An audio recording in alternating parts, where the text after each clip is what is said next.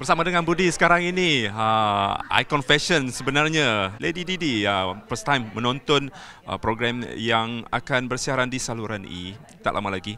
Uh, Pak Neil Goes to Hollywood. Pastinya dalam jiwa Didi, nervous, berdebar-debar. Tentang apakah yang akan dikritik oleh uh, Police Fashion, Juliana tadi. Sebelum mengetahui dikritik, so komen sedikit. Uh, saya pun memang uh, terkejut jugalah pasal dalam ramai-ramai seperti biasa. Dekat Malaysia ni punya ramai selebriti tapi uh, saya di di apa dipilih oleh Pak Nil dan juga Syazwan. Saya sangat-sangat berterima kasihlah kepada Pak Nil walaupun macam mana pun dia tetap ingat saya. Uh, dan saya bersyukur juga uh, saya memang risau sebenarnya pagi ni nak nak dengar apa Juliana apa komen tentang saya punya pakaian. So far uh, you all kena tengok. I tak boleh beritahu. Negatif positif you all kena tengok pasal di sini program terbaru dekat E iaitu Pak Nek Goes to Hollywood. Tapi bagi saya uh, kecaman yang diorang buat sebelum ni memang uh, diorang tak boleh buat hari-hari sampai ke hari ni pasal benda tu adalah uh, sampai sekarang di mana kemunculan saya Didi Alia sendiri uh, menjadi uh, apa ditunggu. Hmm. So saya rasa saya berpuas hati walaupun saya dikritik saya apa itu adalah saya punya trademark dan itu adalah tugas saya dan saya cuma hanya memakai di red carpet di event-event besar saja. Secara terpinci lah tadi dikritik di, uh, atau diberi komen oleh Juliana tadi.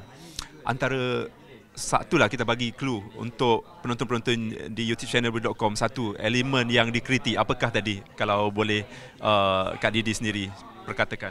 Uh, dia last saya cakap. Uh, dia cuba nak tengok kalau saya uh, tone down sikit. Ah kalau tone down ke tone down macam mana tu you all kena tengok. I tak boleh tahu semua. yang pasti fashion uh, Kak Didi tadi sangat vast sangat vogue. Uh, Jangan, jangan lupa untuk subscribe YouTube channel.com untuk mengetahui apakah lagi uh, temu bual bersama dengan beberapa orang selebriti di PC Pak Nil Gosir. Okey, last kali. Uh, tent- uh, apa pendapat Kak Didi tentang program ni? Uh, saya rasa ini satu benda yang baru makna untuk penonton penonton market uh, orang kata family viewers ataupun uh, pasal E uh, apa channel E ni memang tak kebanyakan semua yang urban, kebanyakan yang memang on fashion punya ni yang more on uh, kata uh, ke depan. Tapi bagi saya kalau kemunculan Pak Nil di sini mungkin satu benda yang baru di mana uh, ramai orang yang tak uh, tak pernah menonton channel ni dan orang tak tahu. Mungkin ada yang tak tahu ialah macam makcik ni. Tiba mungkin dibawakan benda ni satu benda yang baru untuk 2016 makna uh, apa yang Pak ni buat dengan tim uh, ini memang sesuatu yang baru dan sangat-sangat bagus. Makna kita pun dapat mengenalkan uh, diri kita ataupun kita punya industri ke luar Especially di Hollywood tu memang impian saya kalau Pak Nil bawa sebuah beg pun aku pergi juga. tak apalah. Anugerah Meletup ada er, Anugerah Meletup era tak lama lagi dan juga ABP tak lama lagi.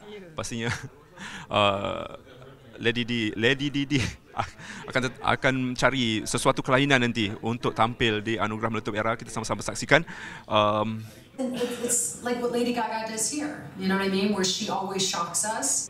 Apa pesanan mungkin ada perkembangan terkini daripada Lady Didi? Uh, saya banyak um, shooting untuk tahun ni, uh, banyak on telemovie dan uh, saya tengah uh, plan untuk uh, saya punya new program insyaallah.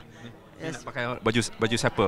Konsep konsep anugerah meletup era. Uh, Futuristik eh? Itulah dia. dia akan ya kena tunggulah oh, di red carpet nanti. Nantikan uh, di Anugerah Meletup Era. Jangan lupa untuk subscribe YouTube channel www.com.